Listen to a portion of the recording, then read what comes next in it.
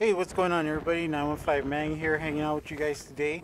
Just enjoying a little cruise out here on the ocean. Uh, went to go check out some whales, whale watching in uh, San Diego, California, and it was uh, pretty cool. Um, we didn't see any whales, but we did see some dolphins here in the video, and uh, I wanted to go ahead and, uh, and show you in this little clip um, some dolphins. But since we're talking about this, I did go ahead and place an order. I ordered myself an additional MP40 and uh, I'm going to be using that in my reef tank. Um, you know, flow is such an important factor in uh, reef keeping and uh, the more flow, the better. I, I do have a lot of uh, zoanthid, zoa, soft coral, a little bit of LPS, but I want to step up my game on SPS coral, uh, acros, and try to get some of those crazy colors like you guys uh, have. So I hope you guys are enjoying this video. Um, the waves out there were, were pretty big. The boat was lifting five, six feet uh, up and down, but it was it was pretty cool. Um, I do gotta say, after the ride, I I still felt like uh, I was on a boat rocking back and forth, but it was a lot of fun. So go ahead and kick back, watch this video, and then uh, we'll get to the equipment. The family of dolphins was so cool. Um, it was about at least at least eight dolphins swimming back for, forth, front, side. Um, so it was really really cool being able to experience that kind of jelly about all you guys living out there on the ocean. And uh, if you haven't gotten to see something like this, highly suggest you guys go out there and do it.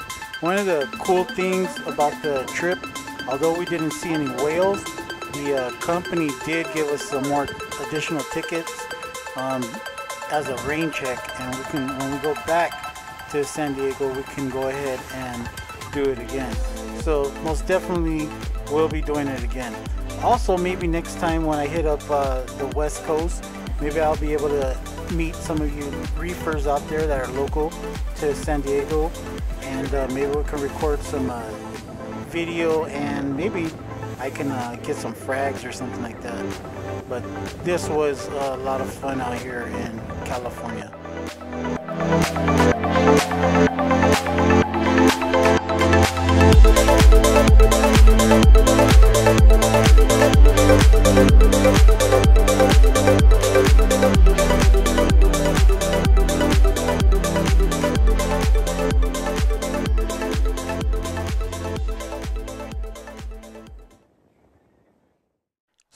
Go ahead and place an order. I got the MP40. I got some uh, Red Sea, ABCD, and uh, some other stuff from Red Sea that I'm going to go ahead and try out with my tank. And uh, let's see how it goes. Hopefully it improves colors or anything like that. Of course, um, I've been watching a lot of videos and I'm going to implement this into my tank really slowly. I'm um, to kind of see how it goes. I'm not trying to really change a lot of stuff, but I do think my tank uh, can benefit from this. Uh, the additional flow, the uh, MP40, I now have four MP40s onto my tank, two on the side, two on each side, left and right. So hopefully it's really nice and it improves um, some flow in my reef tank take a look at the new MP40. It's on the left side of my tank. I secured it to my light rails with a good old zip tie. I'm hoping that it adds more flow and helps the SPS corals, these little sticks right here. Um, I did have uh, a little bit of damage because the MP40 was blasting the skin off of one of these um, SPS. You can see there, there's still a little bit of green on it, but it did uh, blow the flesh off. So I moved the uh, pump up a little bit higher and uh, hopefully I don't have uh, any more die off on this coral and it can come back. Plus the more flow you have in a reef tank the better your corals are going to do. All the detritus and things like that hanging out on the bottom of the tank will be suspended and eventually hit your filter sock, uh, your filter roller mat or whatever. So you can see right here on the bottom that I do have like some dead dead zones, but it is starting to rock back and forth. So hopefully the flow Im improves the uh, health of my corals. And speaking of corals, I did end up placing an online order with Sunnyside Corals. I picked up a few SPS and Zoas. They're based out of uh, Utah, and I follow them on the Instagram. So I'm to go ahead and show you what I picked up for my reef tank, which is part of the reason that I added um, some more flow because I want to get into the SPS game. My other tank, which was the same tank, it just broke down, uh, was doing really good. I was having some nice growth on the other corals. Um, but since I moved and everything, things kind of died off, anticipating the weight of the move. So I'm slowly but surely getting back into the SPS game, and I'm going to show you what I picked up from them. This was my first time ordering from them. You can look them up online. Like I said, they're Sunnyside Corals, and uh, picked up a, up a, a few pieces. Um, one of the things that I will say is I like the size of the frags. Um, they weren't little, um, so hopefully they do good in my tank and I can have, add a little bit of more color um, because you know color is what I'm into the corals. My fish tank itself, I don't have too many fish at all. I just have a couple of tanks and uh, a few small fish, but it's all about the corals for me in my uh, reef tank. So I'm gonna show you what I picked up here. I picked up four sticks right there. They're looking pretty good. Uh, a few of them came in a little bit pale, the front two. Hopefully they color up. The ones on the left are really nice. The camera's not really picking them up too good, but hopefully um, they glow really nice. I picked up some Bam Bams, some Twizzlers, and some uh, firework cloves. I'm going to go ahead and mount everything in my tank.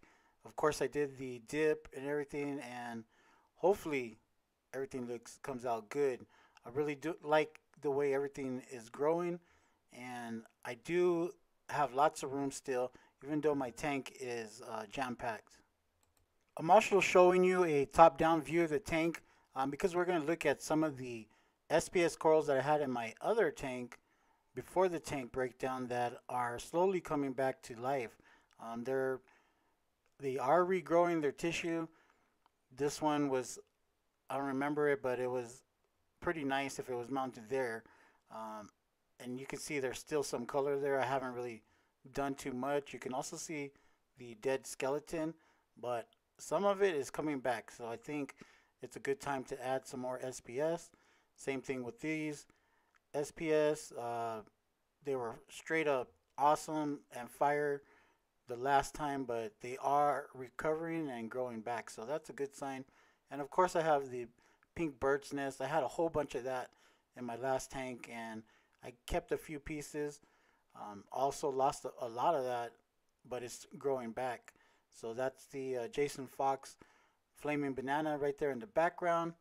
And uh, everything still has like a little bit of Aiptasia, but it is being taken care of by the nudibranch Berghia slugs.